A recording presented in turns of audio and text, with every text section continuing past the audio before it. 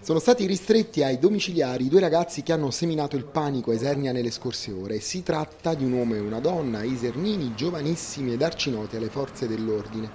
Sono stati fermati ieri dai carabinieri mentre erano in fuga a lungo corso Risorgimento dopo aver rubato 400 euro dalla cassa di una pizzeria di via Umbria.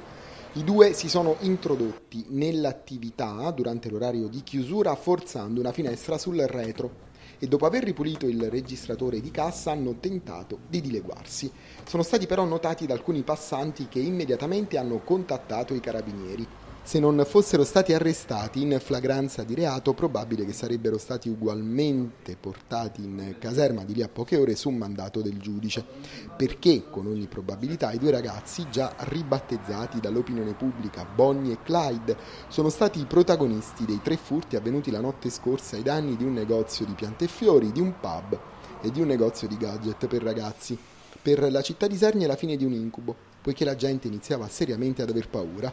Bisogna tuttavia rimarcare che sia per la rapina al supermercato di San Lazzaro, sia per i furti nei tre negozi, le forze dell'ordine hanno provveduto tempestivamente ad assicurare i responsabili alla giustizia. Dicevamo di Bonnie e Clyde, ristretti ai domiciliari in attesa del processo possibile sia stata la tossicodipendenza a spingere i due ladri a delinquere in pieno giorno e in pieno centro, non curanti della videosorveglianza e del livello massimo di allerta raggiunto dalle forze dell'ordine. A prescindere da ogni considerazione di sorta, gli Isernini hanno tirato un sospiro di sollievo.